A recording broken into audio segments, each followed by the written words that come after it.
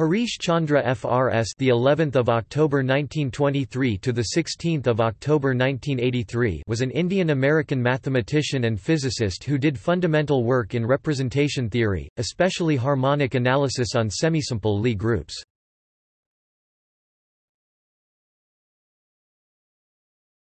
Topic early life.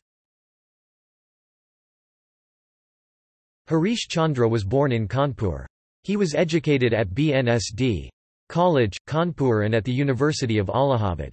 After receiving his master's degree in physics in 1943, he moved to the Indian Institute of Science, Bangalore for further studies in theoretical physics and worked with Homi J. Bhabha.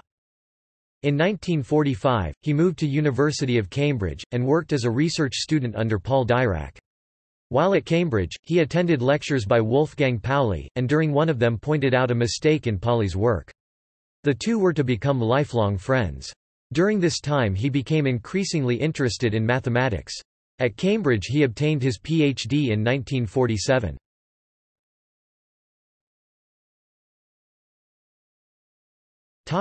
Honours and awards He was a member of the National Academy of Sciences of the U.S. and a Fellow of the Royal Society.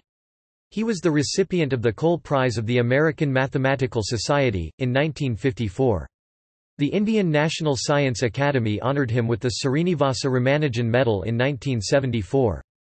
In 1981, he received an honorary degree from Yale University.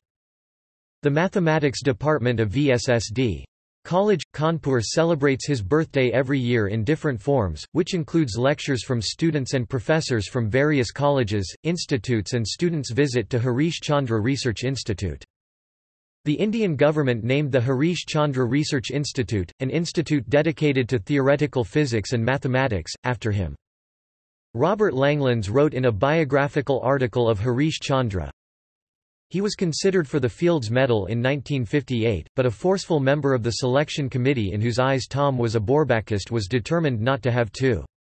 So Harish Chandra, whom he also placed on the Bourbaki camp, was set aside.